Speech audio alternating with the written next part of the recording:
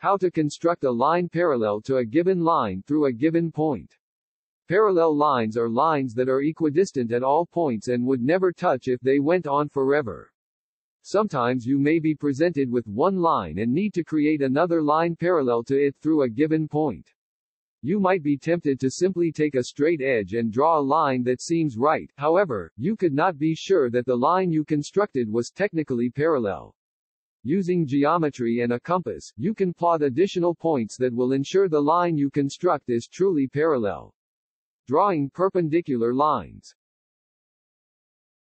Locate the given line and the given point. The point will not be on the given line, and can be above or below it.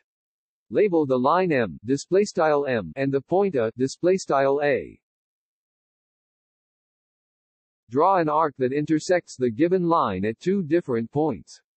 To do this, place the compass tip on point A, display style A.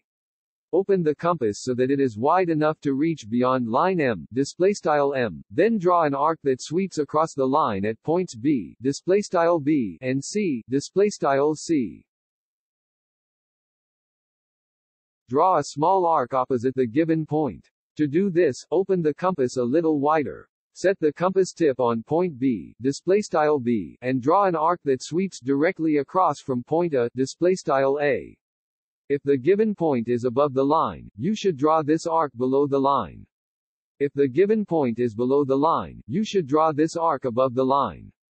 The arc does not have to be very long, as long as part of it falls directly under the given point. Draw another small arc intersecting the previous one. To do this, keep the compass set to the same width.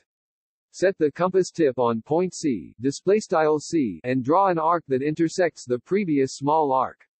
Label this point D, display style D. Draw a line that connects the given point and the intersection of the two small arcs. Label this line line N, display style N. Line N, display style N, is perpendicular to line M, display style M, through points A, display style A, and D, display style D. Remember, a perpendicular line is a line that creates a 90-degree angle. Remember, a perpendicular line is a line that creates a 90-degree angle. Draw an arc that intersects the perpendicular line at two different points. To do this, place the compass tip on point A, display style A, then draw an arc that sweeps across line N, display style N, at points E, display style E, and F, display style F. Draw a small arc opposite the given point. To do this, open the compass a little wider. Set the compass tip on point E, display style E, and draw an arc that sweeps directly across from point A, display style A. Draw another small arc intersecting the previous one.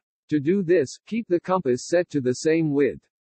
Place the compass tip on point F, display style F, and draw an arc that intersects the previous small arc. Label this point G, display style G.